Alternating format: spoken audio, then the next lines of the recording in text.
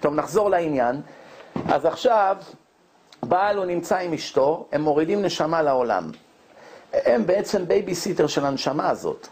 הנשמה הזאת היא עכשיו תרד לעולם, ואחד הדברים שישפיעו מאוד על הילדים זה איך הבעל מתייחס לאשתו בבית. כמו שאמרתי, בעל, היא צריכה לדעת שבעלה מבחינתה הוא מלך, אבל התורה אומרת, אדם חייב לכבד את אשתו, חייב לתת לה מתנות בחגים, חייב לעזור לה, חייב לתמוך בה נפשית, והדבר הכי חשוב שרוב הבעלים לא יודעים, כולל הדתיים, שבעל שהוא מבזה את אשתו והוא לא נותן לה את מה שהוא התחייב בכתובה, זה בדיוק כמו לאכול חזיר או לא להניח תפילין. רק אנשים לא מבינים את זה, אני אתן לכם דוגמה. כתוב בתורה ששלוש דברים, כן, שלושה דברים בעל מחויב לאשתו. לכן הוא כותב לה את זה במסמך ליגלי, שברגע שזה ביד שלה, הוא בידיה, גמרנו.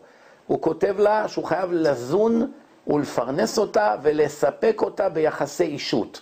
פירוש, הוא לא יכול עכשיו ללכת עם החבר'ה ולהשאיר אותה לבד בבית, אין כזה דבר, זה נגד מה שהוא חתם בהסכם. הוא חייב לספק אותה לפי הצרכים שלה, כל אישה והצרכים שלה. כל אדם והתאוות שלו, והצרכים שלו, והמצב הנפשי שלו, והלידות שלו וכולי. זה חיוב מהתורה. זאת אומרת, בעל שאשתו אומרת לו, אני רוצה להיות איתך, והוא אומר לה, לא, לא, אני עכשיו רוצה עסוק בסוגיה, אני רוצה ללמוד, והיא רוצה, אומרת לו שהיא רוצה להיות איתו, והוא לא מסכים, הוא בדיוק כמו לאכול חזיר.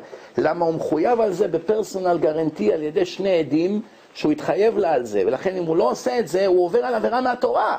אין פה חוכמות. והוא חייב לתת לה בגדים, לפי הכיס שלו.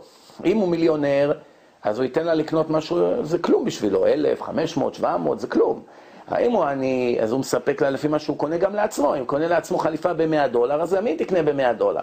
אם הוא קונה לעצמו ב-5,000 דולר, ואחר כך הוא אומר לה, תקני ב-50 דולר, אז הוא לא מקיים את המחויבות שלו, כי הכל הולך לפי הכיס.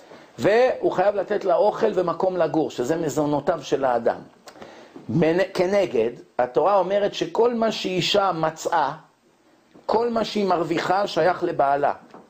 אבל האישה יכולה להגיד לבעלה, אל תזון אותי, אל תפרנס אותי, אני אפרנס את עצמי. זאת אומרת, אם היא מרוויחה הרבה, נגיד שהיא איזה דוקטורית שמרוויחה הרבה ובעלה בקושי מרוויח. בעלה נוח לו שהיא תרוויח לו הרבה, וכל מה שהיא מרוויחה, הוא, הוא שולט בכסף. אפילו שהיא מרוויחה יותר. כי מוסד הנישואים זה יחידה אחת.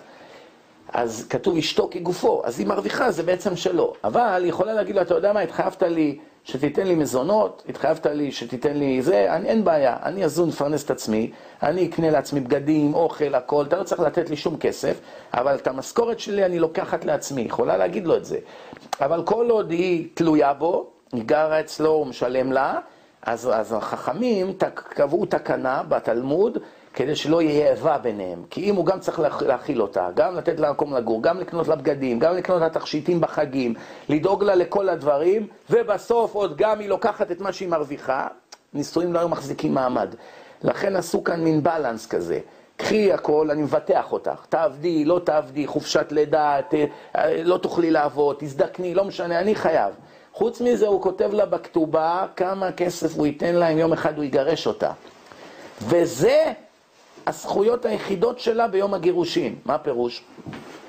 אם יש לו מיליארדים, בניינים, עניינים, מה שאתם רק רוצים, ויש לו בנים, ביום שהוא מת בלי צוואה, הבית דין לא יכול לתת לאישה כלום, רק את מה שכתוב לה בכתובה.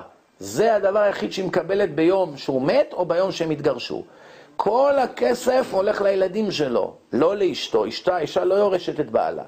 אלא אם כן, הוא כתב במפורש בחייו, אני משאיר את כל נכסיי בידי אשתי. אז הוא כבר נתן לה את הכל מתנה מחייו, זה הוא יכול. אבל אם הוא מת בלי צוואה, מה חוקי התורה? הבנים שלו יורשים, הבנות לא יורשות. אבל אי אפשר לזרוק את הבנות לרחוב, חייבים להאכיל אותם עד שהם יתחתנו. ואז הבעלים שלהם יפרנסו אותם. כל עוד הם לא התחתנו, חייבים לתת להם כסף. עכשיו, מה קורה נאמר, בעל רשם לאשתו מיליון דולר בכתובה, יש לו בניינים בחמישים מיליון. ביום שהוא מת לא היה כסף נזיל. עכשיו הבנים שלו ירשו את הבניינים, והבניינים מכניסים הכנסות. היא באה אומרת, הנה יש לי כתובה, כתובת האישה קודמת לכל הנושים. חייב לבנקים, חייב הלוואות, חייב אה, כל מיני דברים. האישה היא קודמת לכולם. אם למשל הוא השאיר עשרה מיליון דולר והוא חייב מאה מיליון, קודם כל משלמים לאישה, מה שנשאר משלמים לאחרים. כן, זה התורה, אני מדבר איתך מה התורה אומרת. לאישה לא- יש זכויות, זה לא צחוק. תקשיב טוב. כן, עכשיו, מה קורה? נגיד האישה עכשיו, היא באה, היא אומרת נו לבנים שלה, הנה אבא השאיר לי את הכתובה, מיליון דולר. אומרים, מאיפה נביא לך עכשיו מיליון דולר? הוא השאיר בניינים, מה, הוא השאיר מלון, השאיר זה, אבל אין לנו מיליון דולר. היא אומרת, אין בעיה, בוא נגיע להסדר. אני רוצה 20 אלף דולר בחודש, בזבוזים, לשכר דירה, לכל מה שצריך, עד שתמכרו את אחד הנכסים. ביום שתמכרו, תיתנו לי את המיליון דולר, אתם פטורים מלזון ולפרנס אותי. והם הסכימו ביניהם, אין בעיה. אבל אם הם לא מסכימים, הבית דין כופים אותם, לוקחים להם בכוח את אחד הנכסים, מוכרים את זה ומשלמים קודם כל לאישה מה שמגיע לה, ושלום עלייך נפשי. עכשיו, אם לא השאיר כלום, רק חובות, הילדים שלו לא חייבים לשלם את החובות שלו. אבל עכשיו מישהו צריך ללכת לאסוף צדקה, הם ימותו ברעב. הבנות פטורות. לא יכולים האחים להגיד לבנות, תראו, אתן יפות, תלכו, תדפקו בדלת, בדלתות, ירחמו עליכם. יראו, אישה ככה באה, וזה, מה, אה, בחורה, וזה, מה, ירחמו עליה, שלג, גשם, וזה, היא באה ומבקשת אוכל. אז אנשים מתביישים להגיד לאישה לא. אבל אנחנו נלך, יגידו, לך תעבוד, מה אתה בא לאסוף צדקה, נכון? לא שולחים נשים לאסוף צדקה, זה לא כבוד של בת ישראל. אלה הם צריכים לאסוף ולפרנס את הנשים. בקיצור, יש מערכת שלמה של חוקים. היהדות דאגה לכל אחד שיהיה לו ביטחון ופרנסה וכל מה שצריך. עכשיו, גבר שלא נותן לאשתו יחסים, לא נותן לה תשומת לב, כל יום עובר על, על עבירות הכי חמורות שיש בתורה. יש כאלה דתיים, זה על זה אמר שלמה המלך, אל תהיה צדיק הרבה.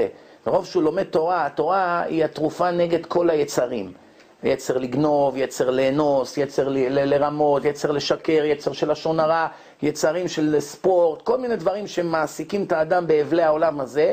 ברגע שהוא שקוע בתורה, כל התאוות שלו מתות. אבל זה איליה וקוץ בה.